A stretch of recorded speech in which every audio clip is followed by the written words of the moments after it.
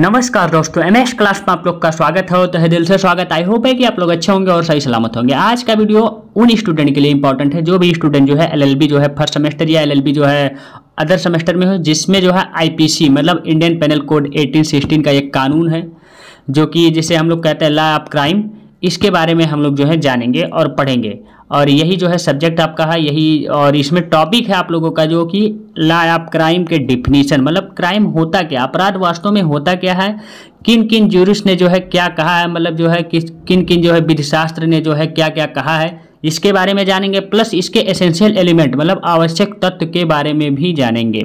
तो आपको लास्ट तक अच्छे तरीके से, बढ़िया तरीके से इस वीडियो को पूरा देखना होगा और बने रहना होगा और एक एक पॉइंट पे अच्छे तरीके से और बढ़िया तरीके से ध्यान दीजिएगा, ठीक? तभी आपको ये वीडियो समझ में आएगा और पूरी जानकारी आपको पसंद आएगी। तो वीडियो लाइक करिएगा चैनल पर नए हो तो सब्सक्राइब करिएगा बेल आइकन दबाइएगा। और भी कोई टॉपिक है आप लोगों के लिए जो इंपॉर्टेंट लग रहा है अगर आपके जो है कॉलेज आपके यूनिवर्सिटी में जो है पढ़ाया जा चुका हो और आपको ना समझ में आया हो तो आप कमेंट बॉक्स में कमेंट कर सकते हैं। नहीं तो मैं अपने हिसाब से तो पढ़ाऊँगा ही। देखिए, ये बच्चों का क्वेश्चन था। ये कई बच्चे जो है कमेंट बॉक्स में कमेंट किए और प्लस मैसेज भी किए पर्सनल जो है व्हाट्सएप पे। कि सर जो है इसके बारे में आप बताइए, इसके बारे में आप पढ़ाइए। तो इसीलिए मैं इस वीडियो इस लेक्चर्स को ला रहा हूँ। ठीक? तो चलिए अभी स्टार्ट करते हैं। देखते हैं। देखिए अलग अलग जूरिस जो है, इसे जो है डिफाइन कैसे किए हैं, इसके बारे में जानिए। देखिए अकॉर्डिंग टू बेंथम के बारे, के अनुसार जो है जानिए कि इन्होंने क्या कहा कि क्राइम वास्तव में होता क्या है। देखिए, अपराध। अपराध वे है जिन्हें जो है विधायिका ने अच्छे या बुरे कारणों से प्रतिबंधित किया। मतलब अपराध वो चीज़ है जिन्हें विधायिका ने जो, विधायिका एक जो, आप लोग की जो एक बॉडी होती है, जो कि तीन बॉडी होती है, उसमें विधायिका होती है जो कानून बनाता है।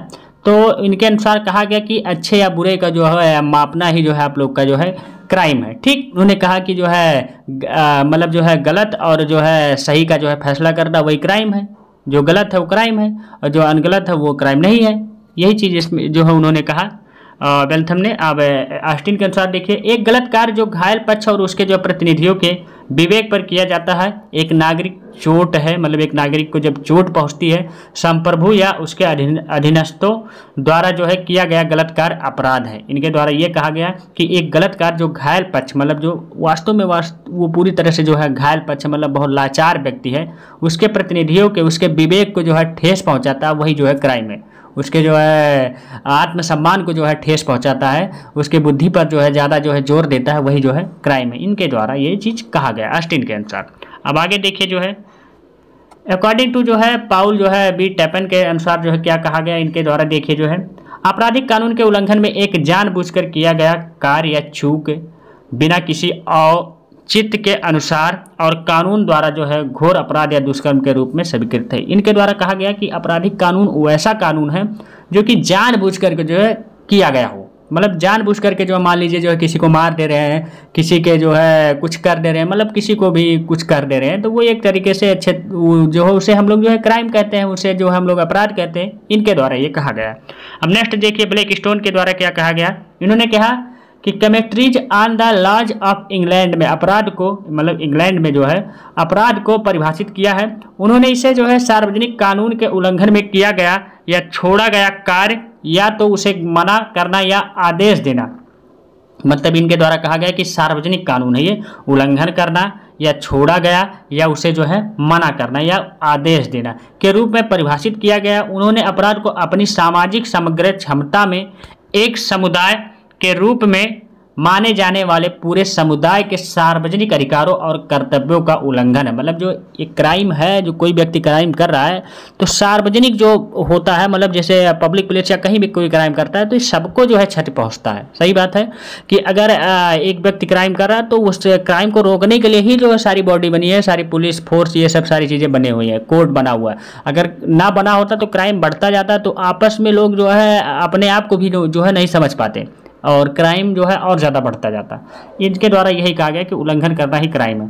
के रूप में परिभाषित किया ब्लैक स्टोन के संपादक स्टीफन ने परिभाषा में थोड़ा बदलाव किया है और इसे इस प्रकार प्रस्तुत किया है कि जो है अपराध एक अधिकार का उल्लंघन है, जिसे बड़े पैमाने पर समुदाय के संबंध में इस तरह के जो है उल्लंघन की बुरी प्रवृत्ति के संदर्भ में माना जाता है। ठीक, ये चीज़ इन्होंने कहा है। अब देखिए जो स्टीफन के अनुसार स्टीफन ने क्या कहा है। अकॉर्डिंग टू स्टीफन के अनुसार जो अपराध कानून द्वारा जो निष्पिद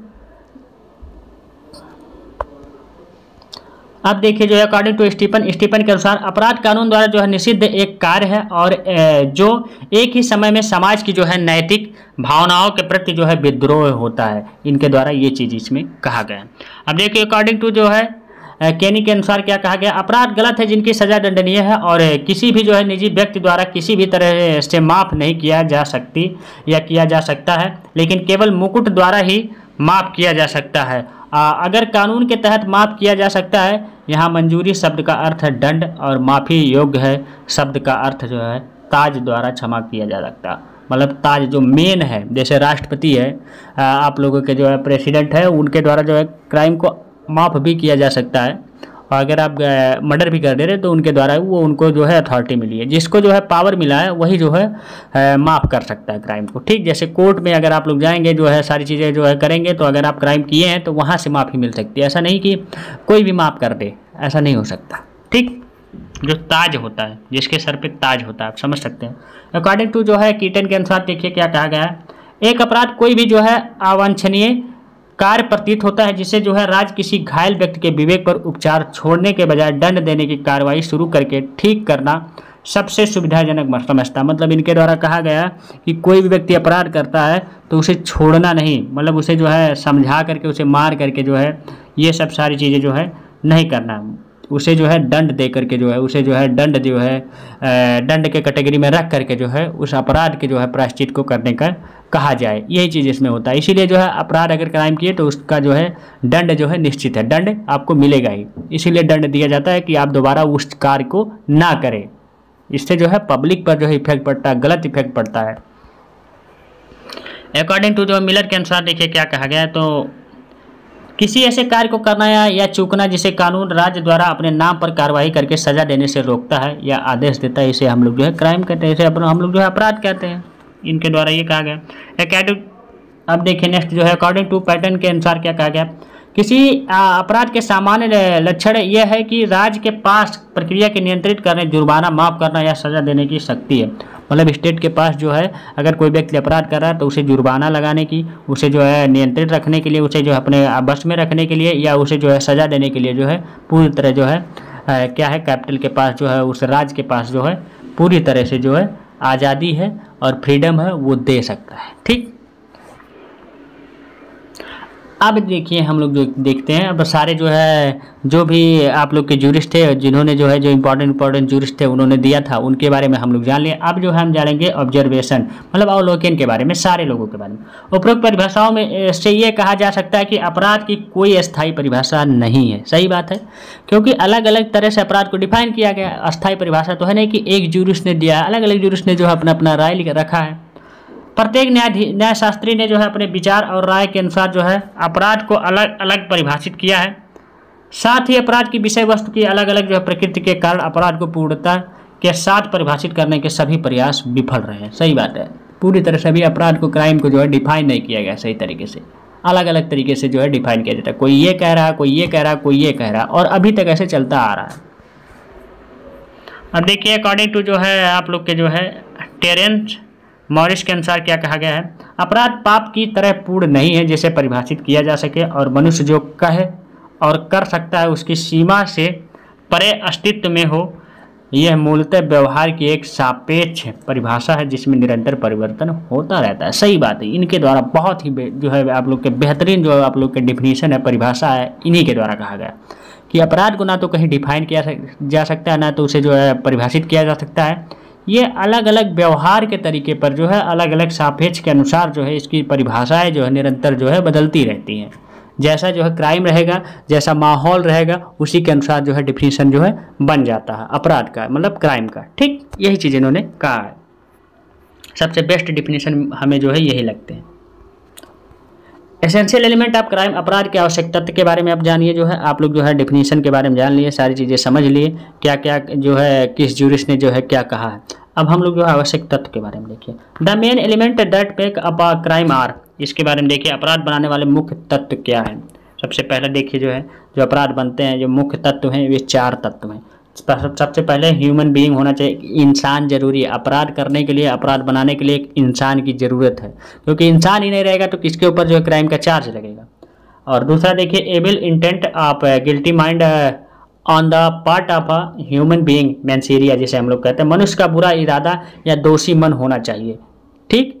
बुरा इरादा होगा, दोषी मन होगा मैंसीरिया जहाँ रहेगी, तभी जो है क्राइम बन सकता है। अगर ये नहीं रहेगी तो क्राइम नहीं बनेगा। अब तीसरा देखिए any act committed to omitted in accordance with the evil intent and it forbidden by law. मतलब इनके द्वारा कहा गया, कोई भी कार्य जो बुरे इरादे से किया गया हो या छोड़ा गया हो, कानून द्वारा निषिद्ध है पूरी तरह। मतलब कोई कार्य जो है बुरे इरादे से जो है किया गया हो या छोड़ा गया मतलब जैसे बुरे इरादे हैं, आपके जो है मेंसिडी आपके ऊपर चढ़ गई और आप एक ह्यूमन बीइंग है ही हैं और किसी को घोप दिए, चाकू मार दिए, वो क्राइम बन गया।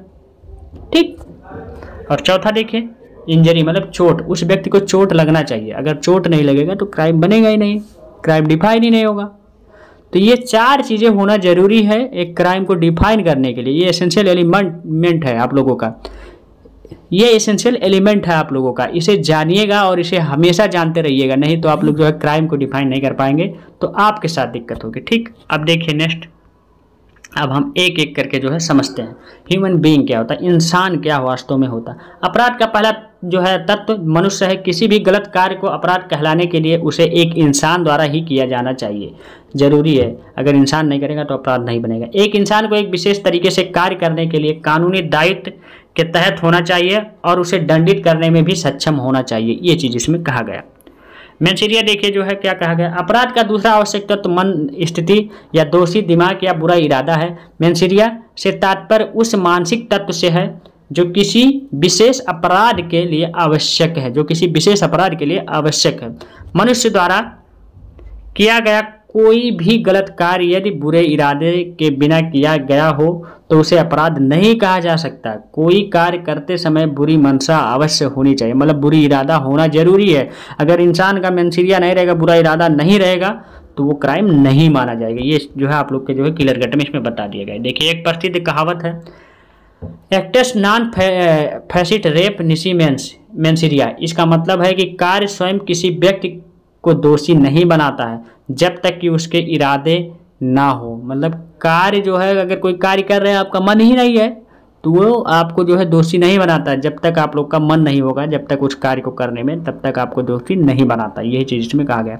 इस कहावत से ही एक और कहावत आई एक्टस बी इन बिटो फैक्टस नॉन एस्ट मेंस एक्टस ये कहा गया, जिसका अर्थ है, मेरी इच्छा के विरुद्ध मेरे द्वारा किया गया कार्य बिल्कुल भी मेरा कार्य नहीं है। मेरा इच्छा ही नहीं है, मेरा मन ही नहीं, ज़बरदस्ती करवाया जा रहा है हमसे तो वो क्राइम नहीं माना जाएगा। वो उनके ऊपर डिपेंड हो जाएगा क्राइम का केस उनके ऊपर जो है चार्जेस लगेंगे, जो हमसे करवाएगा।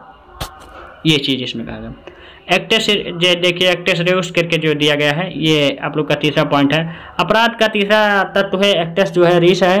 दंडनीय का होने का जो है आपराधिक इरादा किसी स्वैच्छिक कार्य या चूक में स्पष्ट होना चाहिए।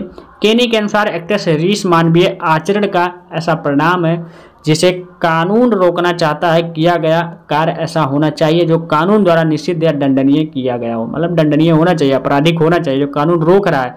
जैसे कानून रोक रहा है ना कि किसी का मर्डर मत करिए, नहीं तो आप क्राइम, क्रिमिनल कहलाएँगे। तो आप मर्डर कर रहे हैं।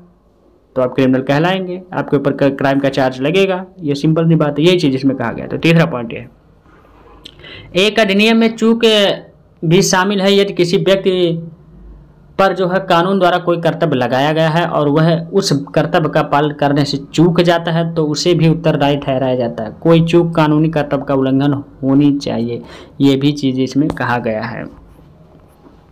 अब नेक्स्ट देखिए इंजरीज मतलब चोट ज़रूरी है।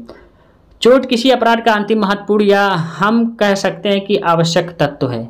ये किसी अन्य इंसान या व्यक्तियों के समूह या बड़े पैमाने पर समाज के लिए अवैध रूप से उत्पन्न होना चाहिए। भारतीय दंड संहिता की धारा 44 में चोट को किसी भी व्यक्ति के शरीर, मन, प्रतिष्ठा या संपत्ति को अवैध रूप से पहुंचाई गई कोई भी क्षति के रूप में परिभाषित किया गया। मतलब जो है सेक्शन नंबर जो है 44 को पढ़ेंगे तो चोट के बारे में आप लोग जान लेंगे। मैं आगे पढ़ाऊँगा भी।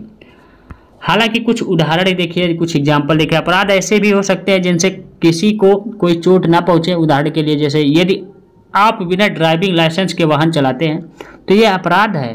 भले ही इससे जो है किसी को कोई चोट ना पहुँचे, ये भी एक अपराध, एक क्राइम है। आप विदाउट जो है सीट बेल्ट जो है कोई गाड़ी चलाते हैं तो ये भी एक क्राइम है, ये भी अपराध है। भले से किसी को चोट ना पहुँचे, अपने आप को चोट पहुँचा रहे हैं आप, अपने आप को दिक्कत में डाल रहे हैं, अपने आप को खतरे में डाल रहे हैं तो वो भी एक क्राइम है, एक अपराध है। ये मत समझिएगा कि अपराध नहीं है। आप भी क्राइम कर रहे हैं। अब गाड़ी आप तेज चला रहे हैं, भले से किसी को जो है, किसी का एक्सीडेंट ना हो, किसी को जो है कोई प्रॉब्लम ना हो, लेकिन आपको प्रॉब्लम हो सकती है तो ये भी एक क्राइम है। ठीक? तो आज का वीडियो यहीं तक। आई होप है कि अच्छा लगा होगा, बढ़िया लगा होगा, और अच्छे तरीके से, बढ़िया तरीके से आपको समझ में आ गया होगा। ठीक? Thank you tata take care bye best of luck हम लोग मिलेंगे नेक्स्ट वीडियो में नेक्स्ट पार्ट के साथ। किसी और टॉपिक पे वीडियो चाहिए लेक्चर चाहिए, चाहे आई पी चाहे जो कोई भी सब्जेक्ट हो तो आप लोग कमेंट बॉक्स में कमेंट कर सकते हैं। Thank you